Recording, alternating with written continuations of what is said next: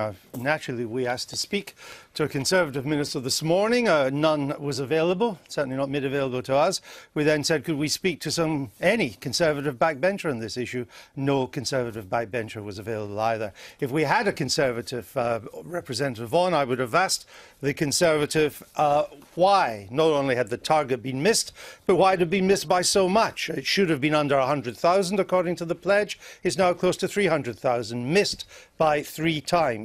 I would have asked uh, why was it that uh, the pledge had been made in, in the first place because the government doesn't control the numbers coming in from the EU. And if the excuse was that they couldn't do that, but they controlled anybody coming in from outside of the EU, I would have asked why was it that even non-EU uh, net migra migration was up by 49,000 to 292,000. Indeed, migration from outside the EU, I would have asked, uh, is higher now than migration from those coming from inside the EU. Well, maybe at some stage in the weeks ahead, as the election campaign hots up, we'll get the chance to ask these questions, but we don't have the chance to do it this morning. However, we are joined by the UKIP migration spokesman, Steven Woolfe, and by Labour's Shadow Immigration Minister, David Hanson. David Hanson, uh, in the year to September, 624,000 long-term migrants came to this country. Is that too much? I think we do need to get it lower, Andrew. Uh, but the, the story today is really the government's failed target. They promised to get net migration. No, no, no. I know all that. I don't look. I've done that, and I've done some pretty tough questions, which isn't usually done. And we've empty seated the Conservative. They're not here to defend themselves. That's their fault. What I want to know from you is 624,000, about the size of the population of Manchester in one year. Is that too much? We've got to get migration down, but we have to look at the needs of the British economy. Uh, nobody I speak to, uh, and anywhere across the country, wants to talk about lack of students, for example, coming to universities. Or, for example, doctors going to hospitals. Or, for example, skill shortages in some of our key areas like uh, engineering so, and science. So how much would you like to get it down by?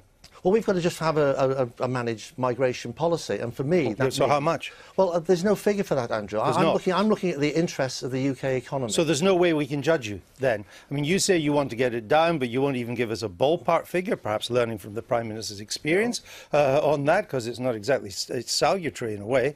Uh, but there's no way we can judge you if you no. don't give us some kind of ballpark by which to measure you against. Well, I'm interested in the needs of the British economy, Andrew. That means students, that means doctors, that means engineers. Right. I understand and it means that. individuals so generally. Is there anything wrong with 624,000 people coming to this country as long-term migrants? No, but some of the people coming to this country, Andrew, and there's 38,000 in this latest figure, are coming without a job from Europe.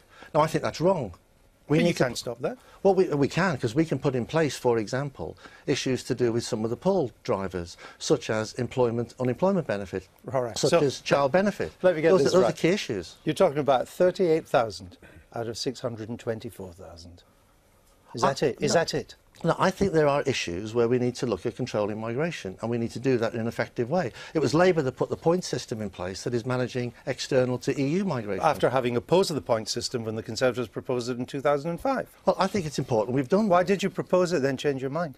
We have put so in why place, did you oppose well, it then change your mind? We've put in place a point system which is fair and proper, which manages... But why did you oppose it when it was uh, proposed? And, I'm talking about what we're going to do. What we're going to do is fair migration. We need to look at... So were you wrong to oppose the point system when Michael Howard suggested it and campaigned on it in 2005? Well, we put the point system in place. So Andrew. were you wrong to oppose it? Andrew, we put the point system in place. I was in the Home Office at the time. We ah. put the point system in place.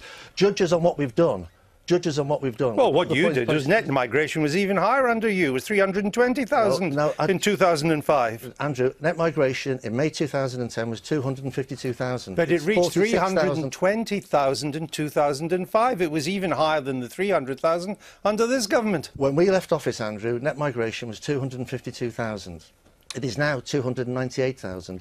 And the government's target is missing students, it's missing the needs of our economy, it's missing employment, it's missing entrepreneurs, and it's damaging our economy. So And you want more? No, it's a meaningless target, Andrew, because if you and I left today, we'd be contributing to the success of the government I understand that, but it was the target your government had as well.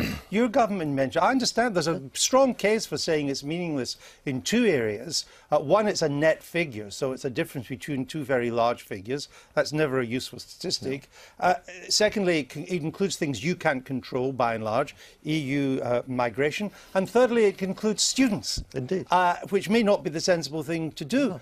But throughout 13 years of Labour government, you had all of these three things as part of your oh. statistics. But I am now, as the immigration shadow for our hmm. party, saying we will remove students from the You would. immigration target. We would hmm. do that.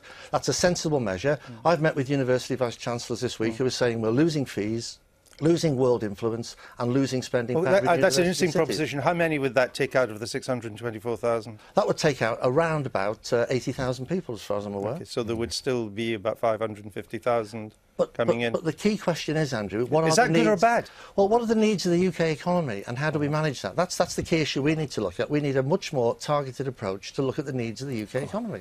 Does UKIP have a target? Yes, we do. What is You're, you're quite right. Let's deal with the first point. Is this too many people coming into the country? The answer is yes. Are they not controlled or managed by either the Labour Party or the Conservative Party? The answer is yes. Does there need to be a radical review of how we deal with the net migrations? The answer is yes. And what we have suggested, and I put, up, put proposals before, is that for a five-year period, we would look at a gross figure for employment of those who have the right for permanent residence in this country of 50,000. So you would only allow 50,000 people into the Now, country? let's analyse the numbers because got to be absolutely clear. David, No, I'm interested. very, very tell clear. me. So you're talking roughly over 200,000 at the moment who, are coming here for employment purposes. They're, they're a mix. Net? They- no, that, that's the gross numbers out of the 600, uh, out of the 600,000 that are coming he- uh, uh, coming each, each each period that we're looking at. So you've got to analyse that, and then from that you've got about 100 and it's about 190,000 who are now in the year of the students. And I'm So with David. I've proposed You would take students out? Absolutely. I think that's got to be a clear proposal so that we can focus more directly on other areas. We would keep asylum as it is because we've got responsibilities. You have to analyse the family numbers that are in there as well. Right, but I'm And still not. I'm still. to be honest, I'm still not clear. What would you regard? Well, let me be more basic than this. Yes. Would you have net migration as a target? No, we'd have gross numbers. You would go gross, Gross numbers right? as a So what would a- your a- gross target be? As I say, in terms of employment, 50,000 for those who have the right to work with the option for permanent residence here. That's a very significant part because we would still have flexibility to work with businesses and universities for the part-time and short-term contracts. You have to take that out. That would take out over 167,000 from these numbers each year. What I'm also very important uh, to consider, as I say, when we're dealing with the university students. Take them out because that's quite a significant number and we can balance that in a different way. But if only 50,000 are coming in, would you make a distinction between those coming in from the EU and from the non-EU? No, not at all. I mean, So that- you that's would together. So that- that's together. That's absolutely together, and that's why when I say that we have a UK points-based system, that everybody who wants to apply to the United Kingdom would come in on the same system.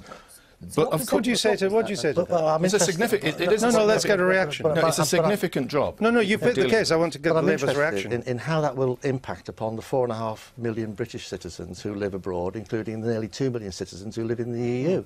If we get into tit for tat, are It we won't gonna- uh, well, uh, you say it won't happen. Of We- course we- it if we're putting in place that sort of control in a wider Europe, what happens to the one and a half to two million Brits who live in France, Spain, Italy, and the rest of Europe at the moment? Well, let's put it in the case that I've suggested before, is that those uh, uh, EU citizens that are already here, we would uh, say to them that you have come here, you are invited here, you have the right to work here, you have the right to stay. Now, it's up to the other European unions to actually, in my belief, follow the ethical principle of saying you were invited to live there and work there for those two and a Are half you- million, that they should stay as Are well. you sure the British economy could survive if only 50,000 people are allowed to come in? No, I'm talking in terms of those with the permanent rights of residence. That's got to be a very important part of work. And yes, I've been recently uh, communicating UKIP's policy and discussing it with senior business people. Uh, across the country, there are concerns. They say, well, what about the low-skilled workers that come in to fill my distribution centres? I can't get them from Britain. I'm saying, sorry, there are. You have to look at the apprenticeship schemes. You're not working hard enough in terms of that. You have to look at the fact that only... You're kind of pretty much closing our borders, aren't you? No, absolutely not. You're letting a small trickle of people in of which you approve. But we that's the already, end of it. but but Andrew, what you've got to look at the fact that even David will agree, you're seeing significant numbers of EU migrants now becoming unemployed having come here. You talked about 38,000.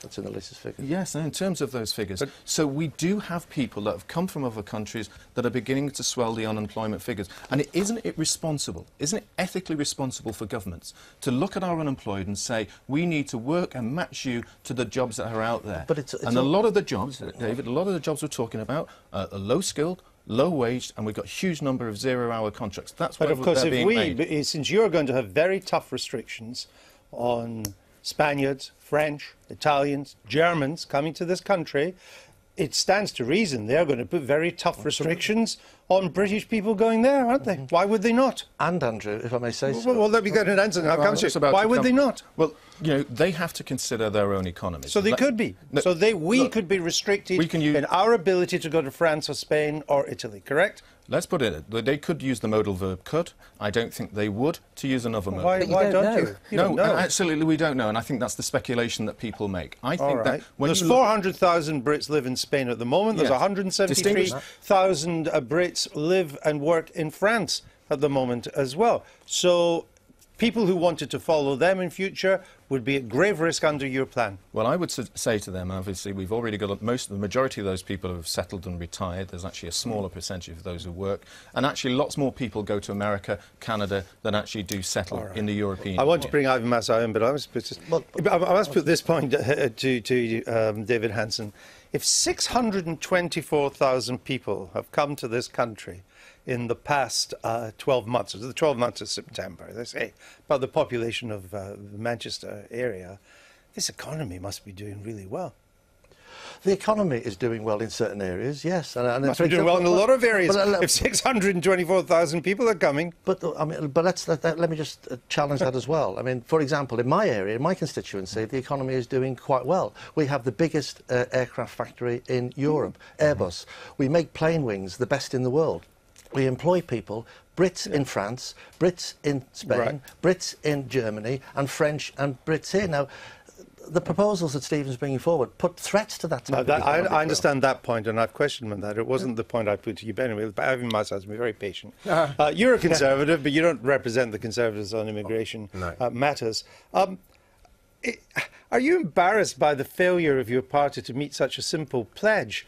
Uh, uh, and would it not be a more credible line to take to say, actually, so many people are coming to this country because we're doing such a good job of running the economy? Well, uh, luckily, I can speak from a London perspective, and um, and from an immigration in London is a success story. People want to come here. If it was a business, you wouldn't kind of practice this "stop the world, I want to get off" politics. We're not trying to do The that. Lon- uh, immigration provides us with a massive, massive form of revenue.